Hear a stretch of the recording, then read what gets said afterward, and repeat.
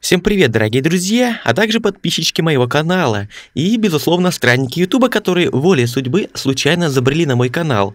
И не напрасно, ведь сейчас мы делаем э, забег в игрушечке Noah Rain, что означает, э, судя по всему, дождь Ноа. Ноа — это человек, за которого мы будем, скорее всего, играть.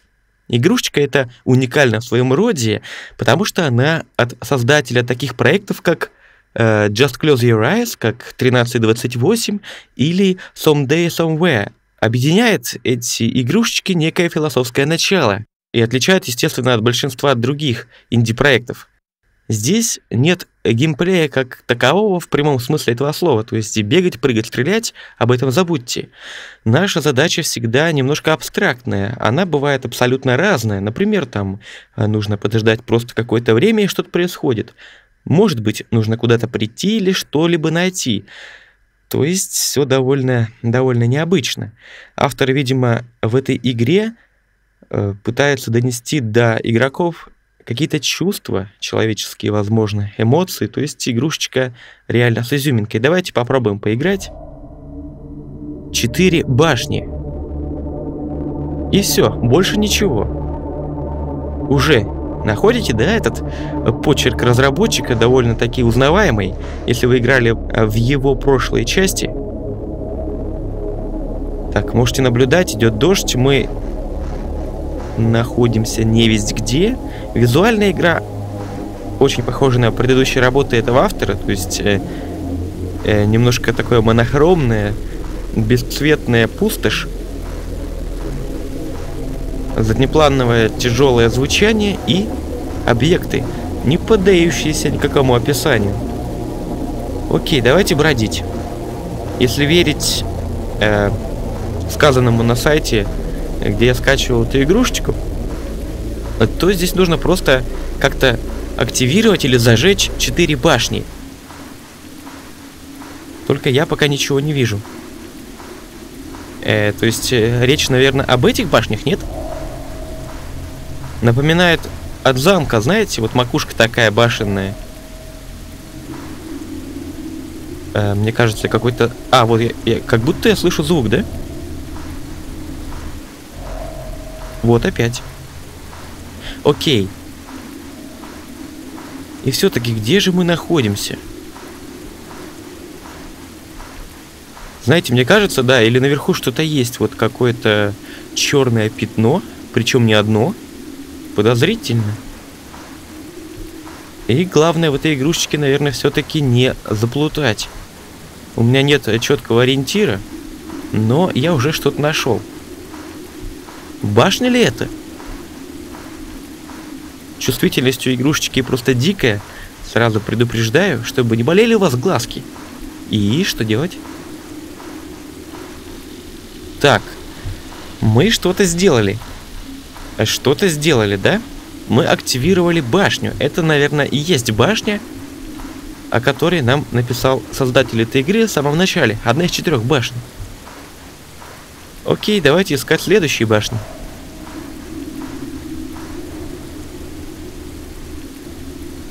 Извиняюсь за небольшую задержку. Там ко мне пришли непрошенные люди, и пришлось э, отойти от игрового моего места. Итак, вот мы зашли, зажгли одну башню. Значит, у нас здесь есть что-то напоминающее отдаленно озеро или речку. Не знаю, стоит ли туда заходить. Это, наверное, небезопасно. Давайте сначала посмотрим, что у нас, значит, есть здесь. А, нет. Минутку, минутку, минутку. Внимание, дорогие друзья.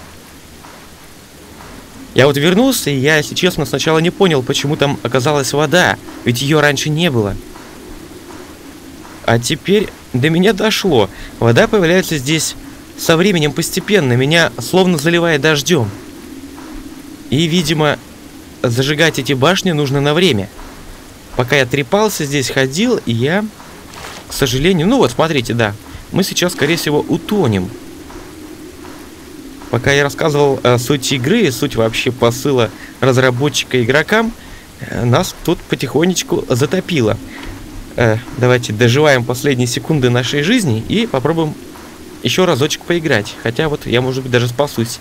Нет, к сожалению, я не спасусь. Эм, ждать, наверное, нет смысла. Давайте сразу э, грохнемся под водичку. Посмотрим, может быть, даже это не смертельно.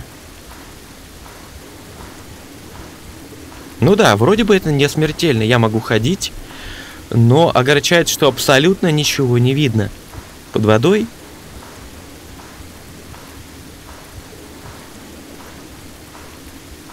Да. Э, сессия провалена. Опять же, э, напомню, что это такая коронная фраза, она есть практически во всех инди-проектах этого разработчика. В иных вариантах написано «сессия закончена». Так, ладненько, давайте попробуем еще разочек и составим уже более полное представление об этой инди-игрушечке.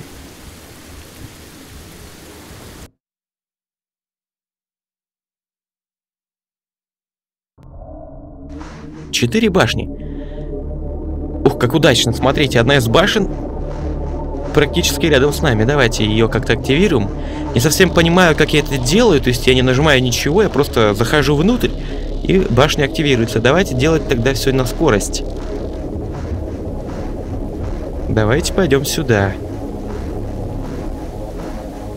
Немножко воодушевляет тот факт, что башни, в принципе, можно разглядеть в тумане как некий такой э, темный высокий силуэт. Главное проявить внимательность.